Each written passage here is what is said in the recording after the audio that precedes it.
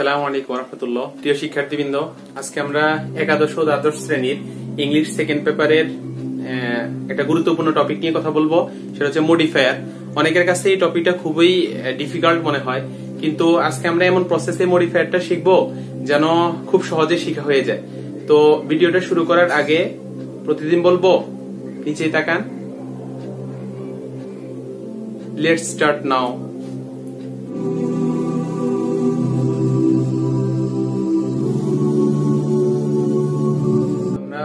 মডিফায়ারের আলোচনাটা শুরু করতে যাচ্ছি। প্রথমত আমাকে জানতে হবে যে মডিফায়ার আসলে কি। মডিফায়ার শব্দটা মূলত আসছে মডিফাই থেকে।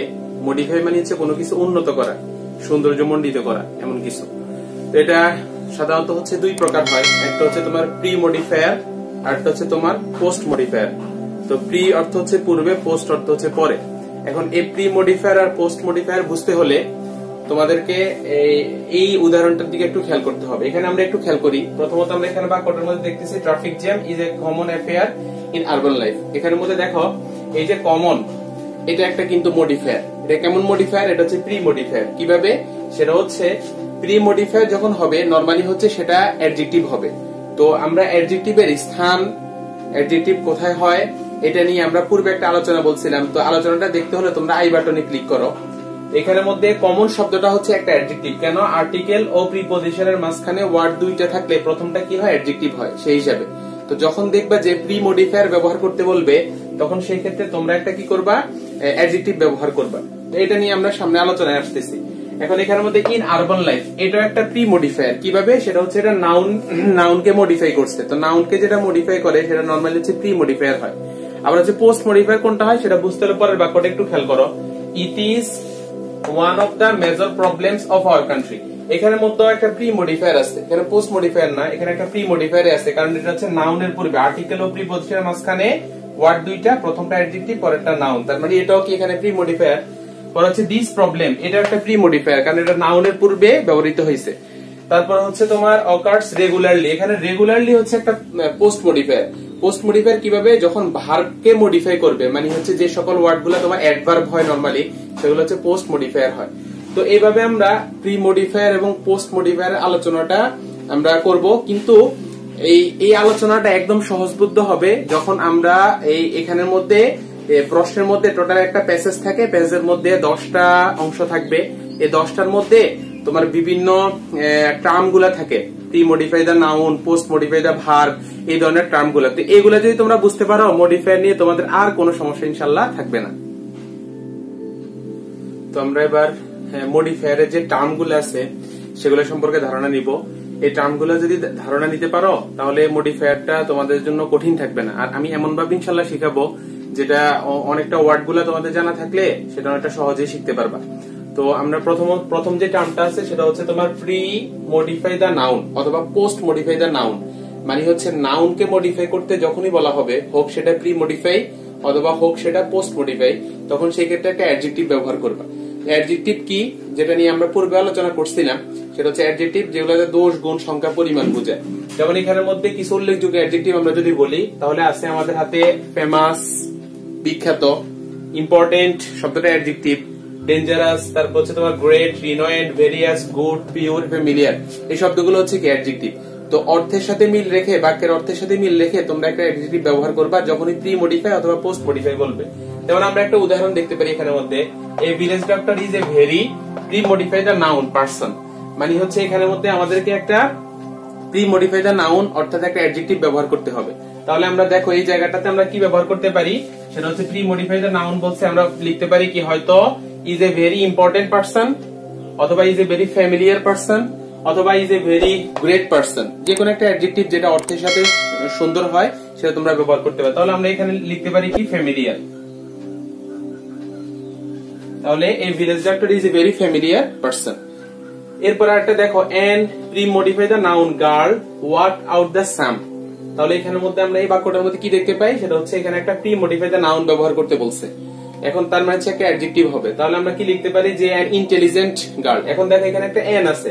আমরা এখানে ধরেই যে কোনো একটা অ্যাডজেক্টিভ ব্যবহার করে দিতে পারব না। এমন একটা অ্যাডজেক্টিভ ব্যবহার করব, যেটা শুরুতে কি আছে? একটা তোমার ভাওয়েল আছে। তাহলে আমরা এখানের মধ্যে প্রি মডিফাই দা নাউন এটা, এই জায়গায় আমরা কি লিখতে পারি? An intelligent an intelligent girl এটা আমরা লিখতে পারি।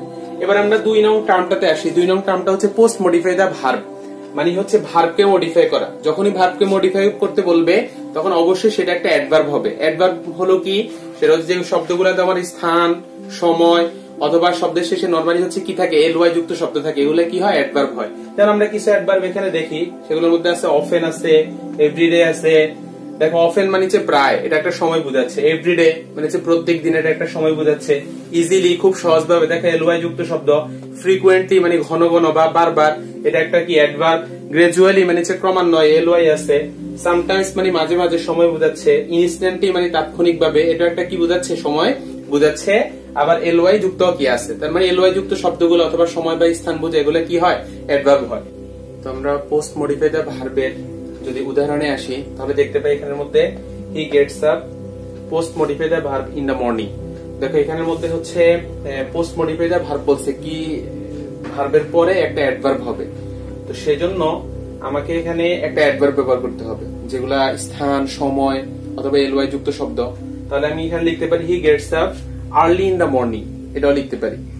আবার পরবর্তী বাক্যটা আমরা যদি খেয়াল করি তাহলে এখানে দেখতে পাই এ ভিলেজ ডক্টর বলছে post modify the verb sits in a dispensary তাহলে এখানে মধ্যে পোস্ট মডিফাই দা ভার্ব মানে হচ্ছে কি অ্যাডভার্ব তো সেই জন্য আমি লিখতে পারি কি village doctor post modify the ভার্বের জায়গায় আমি কি লিখতে পারি সেটা হচ্ছে জেনারেলি সিটস অথবা ইউজুয়ালি সিটস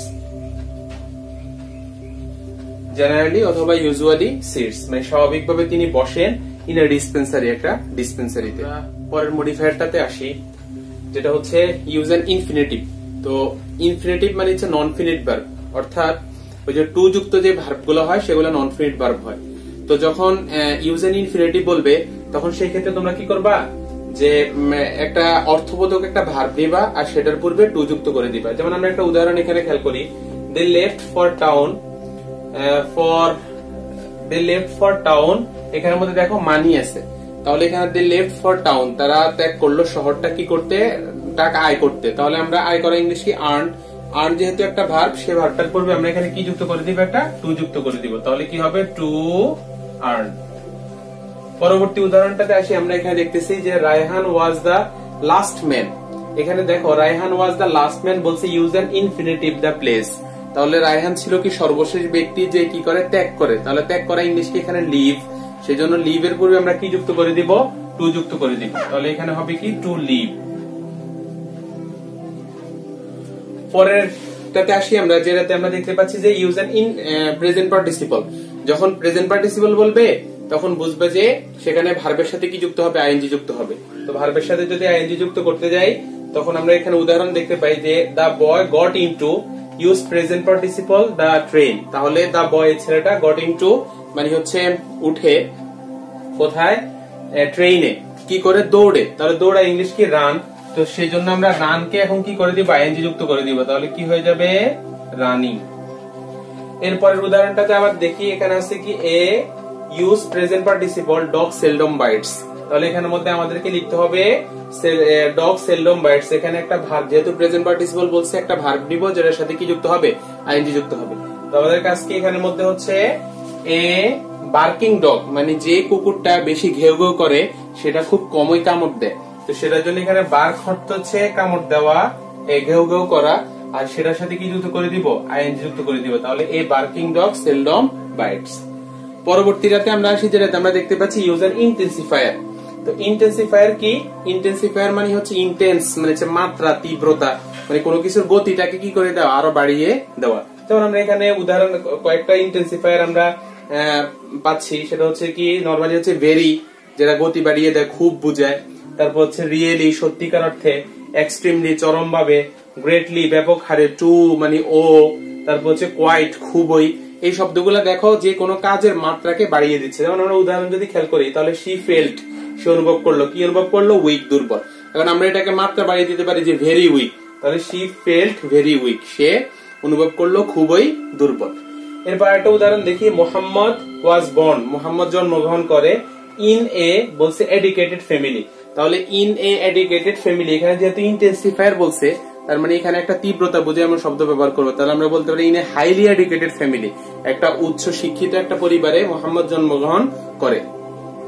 পরেরটাতে আসি আমরা, যেটা আমরা দেখতে পাচ্ছি ইউজ এন ডিটারমিনার ডিটারমিনার মানে কি? যেগুলো তারা নর্মালি হচ্ছে তোমার ডিটারমাইন করে, নির্দিষ্ট করে, নির্ধারিত করে, সংখ্যা বা পরিমাণ বোঝায় এমন শব্দগুলা। যেমন আমরা এখানের মধ্যে যদি কয়েকটা ডিটারমিনার দেখি নর্মালি এই ডিটারমিনার গুলাই ব্যবহৃত হয়। সেটা হচ্ছে কি a an the all each some normally এগুলাই ব্যবহৃত হয়। তো আমরা এখানে দেখি যে একটা উদাহরণ দেখতেছি। Jerin has use determiner good qualities তাহলে জেরিনের আছে কিছু গুণ। তাহলে এখানের মধ্যে জেরিনের আছে ভালো গুণ। তাহলে আমরা লিখতে পারি কি কিছু ভালো গুণ। তো কিছু ইংলিশ কি সাম তাহলে এখানে বসাতে পারি, Jerin has some good qualities এরপরের উদাহরণটাতে আমরা যদি দেখি, তাহলে দেখি এখানে here use a determiner nutritionist can help us তাহলে এই বাক্যটার মধ্যে আমরা দেখতে পাই কি, যে এখানে একটা ডিটারমিনার ব্যবহার করতে বলছে। আমরা এখানে লিখতে পারি here a nutritionist can help us তাহলে এখানে কি বসাতে পারি? একটা এ বসাতে পারি। তো এরপরে হলো আমাদের ইউজ এ ডেমোস্ট্রেটিভ কোথাও যদি ডেমোস্ট্রেটিভ বলে, তখন সেই ক্ষেত্রে এই শব্দগুলো নর্মালি হচ্ছে তোমার নির্দিষ্টতা বোঝায়। যেমন আমরা এখানে কিছু ডেমোস্ট্রেট দেখতে পাই। দিস মানে এই দ্যাট মানে হচ্ছে ওই দিস মানে হচ্ছে এগুলো দোজ মানে হচ্ছে ওইগুলো। এইগুলো নর্মালি হচ্ছে ডেমোস্ট্রেটিভ হিসেবে কি ব্যবহৃত হয়। আমরা একটা যদি উদাহরণ দেখি, আমরা এখানে দেখতে পাচ্ছি উই ক্যান নেভার ফরগেট আমরা কখনো ভুলে যেতে পারি না। ইউজ এ ডেমোস্ট্রেটিভ বলছে লাভলি সিবার্ড তাহলে আমরা লিখতে পারি কি দিস লাভলি সিবার্ড এই সুন্দর সমুদ্রের পাখিটাকে আমরা ভুলে যেতে পারি না। এরপরে আমরা যদি কখনো দেখি যে ইউজ এ কোয়ান্টিফায়ার মানে এটা আছে, তখন সেই ক্ষেত্রে কোয়ান্টিফায়ার মানে কি? যেগুলো হচ্ছে তোমার সংখ্যা বা পরিমাণ বুঝাবে, এমন শব্দগুলো। তো আমরা কিছু কোয়ান্টিফায়ার এখানে দেখি সাম মানে কিছু মেনি মানে অনেক ফিউ মানে হচ্ছে কিছু লিটল মানে হচ্ছে সামান্য মাছ মানে বেশি বা প্রচুর মোর মানে হচ্ছে অধিক one two three four five যে সংখ্যাগুলো আছে, এগুলো হচ্ছে কি তোমার কোয়ান্টিফায়ার তো আমরা যদি উদাহরণ দেখি, আমরা এখানে দেখতে পাই হি সেজ প্রেয়ার সে আদায় করে নামাজ বলছি use a quantifier times a day তাহলে দৈনিক যেহেতু পাঁচ ওয়াক্ত নামাজ, তাহলে আমরা এখানে লিখতে পারি কি ফাইভ টাইমস এ ডে দৈনিক পাঁচবার সে কি করে? নামাজ আদায় করে। এরপরে কখনো যদি আমরা ইউজের পসেসিভ দেখি, তখন আমরা ওই যে প্রোনাউনের একটা ফর্ম আছে possessive subjective objective possessive form তো পসেসিভ ফর্মগুলা থেকে ব্যবহার করব। পসেসিভ ফর্ম কি কি আছে আমাদের? My our your his her তারপর হচ্ছে দেয়ার ইটস এই শব্দগুলো হচ্ছে কি পজিটিভ ফর্ম তো এই পজিটিভ ফর্মগুলা থেকে একটা ব্যবহার করব যেটা অর্থের সাথে মিল রেখে। যেখানে আমরা এখানে লিখতে পারি, যেমন হি প্রেয়ার হি প্রিপেয়ার্স সে কি করে, প্রস্তুত করে ইউজ পসেসিভ লেসন্স টাইমলি তাহলে আমরা লিখতে পারি হি প্রিপেয়ার্স হিজ লেসন্স তাহলে এই জায়গায় আমরা এই পজিটিভ ফর্মে জায়গায় লিখতে পারি হিজ লিখতে পারি। এরপর হচ্ছে কোথাও যদি ইউজ এন অ্যাপোজিটিভ থাকে। অ্যাপোজিটিভ মানে কি? অ্যাপোজিটিভ মানে হচ্ছে কারও সম্পর্কে অতিরিক্ত কোনো ইনফরমেশন বা তথ্য দেওয়া।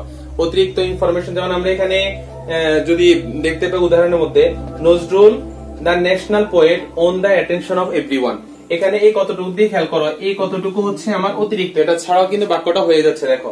Nazrul won the attention of every আমি জাস্ট নজরুল সম্পর্কে কি দিলাম? একটা অতিরিক্ত তথ্য দিলাম যে নজরুল কে? তিনি হচ্ছেন দ্য ন্যাশনাল পোয়েট মানে আমাদের জাতীয় কবি। এই যে অতিরিক্ত ইনফরমেশনটা দিলাম, এটাই হচ্ছে মূলত অ্যাপোজিটিভ তো কখনো যদি ইউজ এন অ্যাপোজিটিভ থাকে, তখন সেই ক্ষেত্রে তোমরা ওই ব্যক্তি অথবা বস্তু অথবা বিষয় সম্পর্কে অতিরিক্ত একটা তথ্য দিবা। যেমন আরেকটা উদাহরণ আমরা দেখতে পারি মধ্যে মিস্টার কবির বলছে our headmaster presided over the meeting মধ্যে দেখো, mister Kabir presided over the meeting এই মিটিংটা সভাপতিত্ব করেন। এ পর্যন্ত বাক্যটা হয়ে গেছে। কিন্তু মিস্টার কবিরকে তার সম্পর্কে অতিরিক্ত তথ্য দিচ্ছে, তিনি হচ্ছে আমাদের কি হেডমাস্টার এই যে অতিরিক্ত তথ্য দিলাম, এটাই হচ্ছে মূলত অ্যাপোজিটিভ তা আমাদের এই পার্টটা আপাতত এখানেই শেষ হচ্ছে।